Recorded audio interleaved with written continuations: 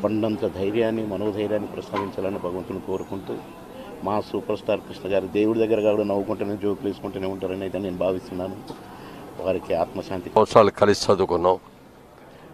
అప్పుడు మా కా క్లాసులో మా ఇద్దరిని ముందు కూర్చోబెట్టేవారు ఫ్రంట్ బెంచ్లో.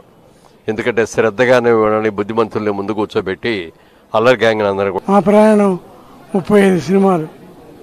ముప్పై ఐదులో అగ్నిపర్వతం ఉంది. ఈనాడు ఈనాడులో హీరోయిన్ కూడా లేదు. ఆయన డైలాగులు సూపర్ హిట్ అయిపోయినాయి. అగ్నిపర్వతం ఖైదీలు ఉత్తరయ్య పల్నాటి యుద్ధం. ఇంత ఎన్నో ముందడుగు.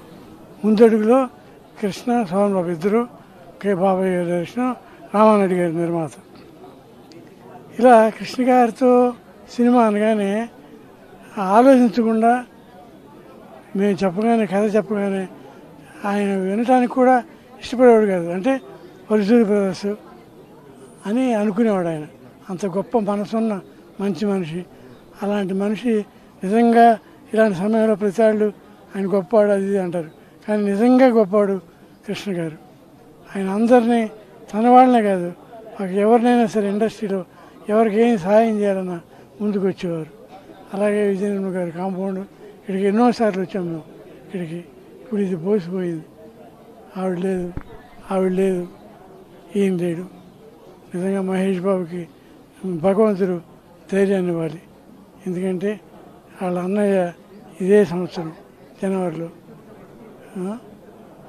తర్వాత మదరు సెప్టెంబర్లో చనిపోయింది. ఇప్పుడు తండ్రి ఎవరికి రాకూడదు ఆ కష్టం. మహేష్ బాబు ఈ సమయంలో ధైర్యంగా ఉండాలి. ఎందుకంటే మహేష్ బాబు వాడు సూపర్ స్టార్.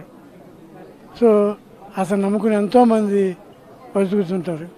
సో వాళ్ళందరి కోసమైనా ఆయన శ్రీగారు చాలా సినిమాలు చేసి వాళ్ళందరికీ ఒక జీవనోపాధి కల్పించారు.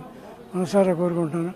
కృష్ణ గారి ఆత్మ ప్రతిసారి చెప్తారు ఆత్మ స్వర్గానికి వెళ్తుంది. Hundred percent. ఎందుకంటే ఇంత మంచి చేసిన ఆయనకి అక్కడే చోటు ఉంది ఇంకెక్కడా లేదు. అక్కడికే వెళ్తాడు ఆయన. అది.